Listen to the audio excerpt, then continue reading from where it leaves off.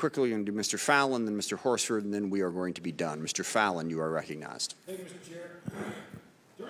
Chair. During this hearing, the word, uh, the virtue of courage was used to describe the current president, and I think that's misplaced. I think the virtue of courage should be attributed to the 2,461 troops that we lost, that gave everything, the 20,698 that were maimed and injured and wounded, and the 800,000 that served. I'm a little perplexed, and I, thank you for being here. I wanted to clear something up. During the testimony, uh, General McKenzie, you were asked when you knew that the drone strike on August 29th had gone tragically wrong, and if, correct me, just yes or no, you said about five or six hours later you learned that. Is that correct? That's, well, that's when we learned that civilians had been killed. Okay, and it, so it went wrong. No, I did not say that. Okay. I said that's when we learned that civilians had been killed. We still Would you have know cut, if we had hit considered that five or six hours later a, a righteous strike?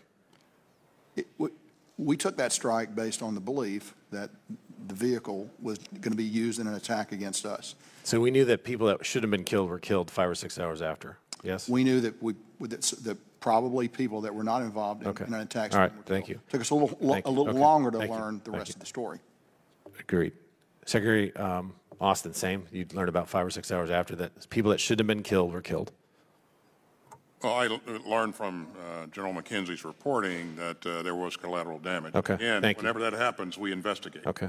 And then uh, General Milley, on September 1st, three days later, you described it as a righteous strike. People that were not supposed to be killed were killed, and you described it as a righteous strike. Yeah, if you go back and look at the full quote, what I said was we followed the procedures.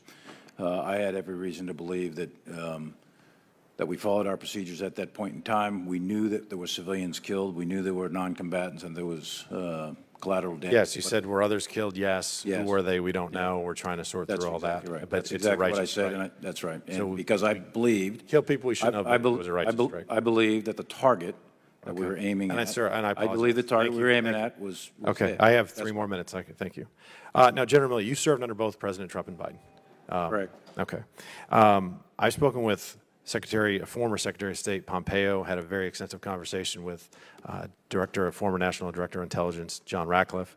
And what was the general sentiment of senior advisors? If conditions weren't met, what would happen in Afghanistan? How long that the Afghan uh, army and government would last? You recall that? I would imagine you were sitting in on those meetings.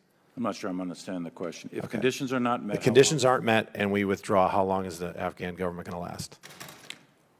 Back then? I'm not going to speak for them. I'll speak for myself. Or, yeah, please do, because they, Yeah, they, I so know what they told me. I, I'm on record, um, having said that if we go to zero, uh, that there's a high probability of um, the government and the Afghan army collapsing.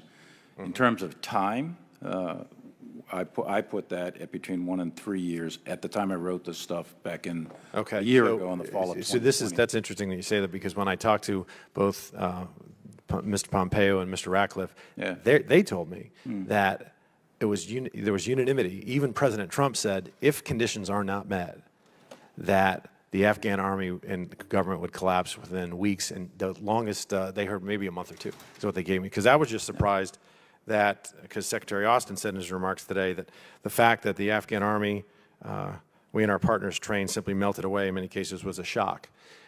John Ratcliffe told me he told his, uh, his successor that they were going to collapse instantaneously if those conditions weren't met. They were going to evaporate.